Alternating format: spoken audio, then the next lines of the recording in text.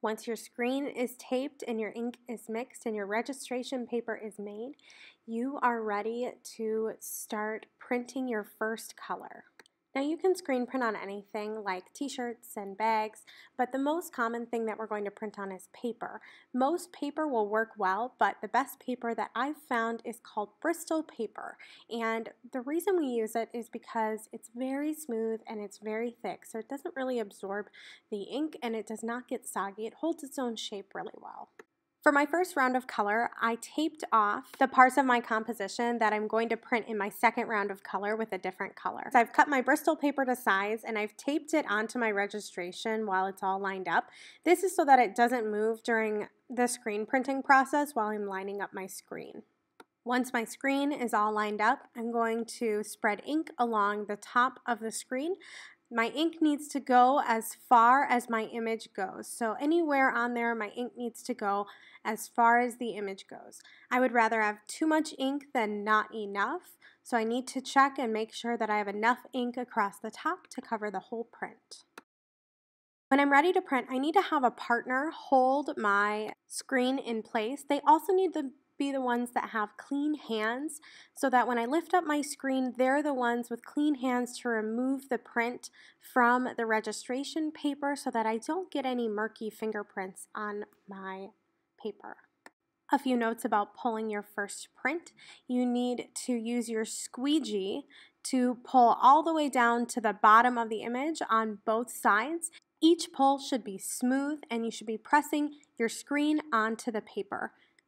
For a smooth finish, don't hesitate in any area and you should only need one pass in each area for your ink. Once my paper is removed, I'm going to check it over to make sure that it's exactly how I want it to look. So as I'm looking at my paper, I can see that there's some ink spots that I don't want there. So I'm going to take some tape and I'm going to tape over um, just some extra pinholes that I missed before I do my second print. In this process, I would do a minimum of four prints so that you can make sure that you have enough prints in case something goes wrong, but also if you want to alter it after, that's really helpful. Now I'm transferring all of my ink back to the top of the screen. This is called flooding the screen. And then I'm re-adding any bare areas of the screen that need more ink to pull through. You're going to do this with each print. For my second print, my partner is going to take a new clean piece of paper and they are going to tape it down, get it all registered so that my next print can be exactly the same as my first print. And then I'm going to reline my screen up right on top and pull my second print.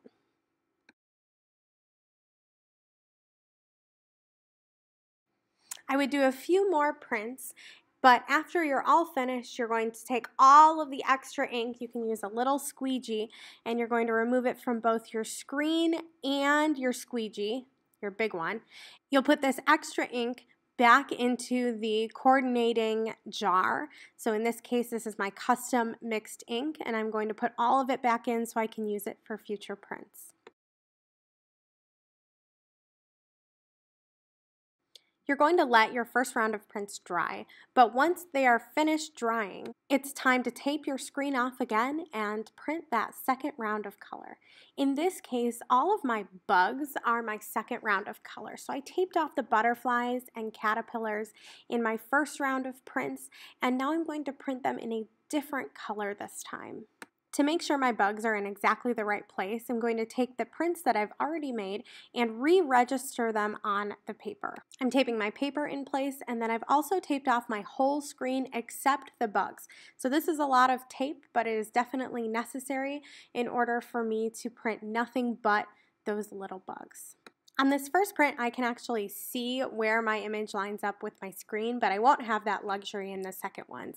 So I can line it up right now to make sure that those little butterflies are going to be in exactly the right place. Then I'm going to take my contrasting ink color, which is a light blue, and I'm just going to spread it along the top where my bugs are going to be.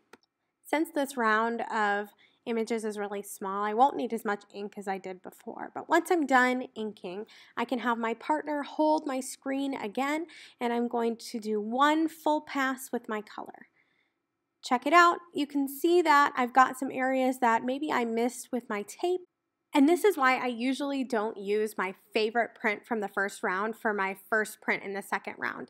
I want to make sure everything is perfect before I do that second round of my really good print. So this is my favorite print from my first round. And now I'm going to make sure to tape off all of those extra ink spots before I do my second round. So while you weren't able to see that, I went through and taped off all those extra ink spots. And now I'm ready to pull my second print, which will hopefully be better than the first round of prints. You can see here that my ink is not only cleaner because I pulled my last print faster, um, all of those extra ink spots are also gone from the print because I taped it off in the second. For printing on any sort of fabric, you're going to place cardboard between the layers of fabric so that they don't stick to each other and you have a hard surface for printing on. Then you're going to pull the fabric tight using binder clips to hold it in place and also make sure there's no wrinkles. You're going to print with one color usually because all of your registration really has to be eyeballed and then you're going to line up the image on your screen as best you can with where you want it to be on the shirt or the blanket or the fabric, and then you'll pull your print.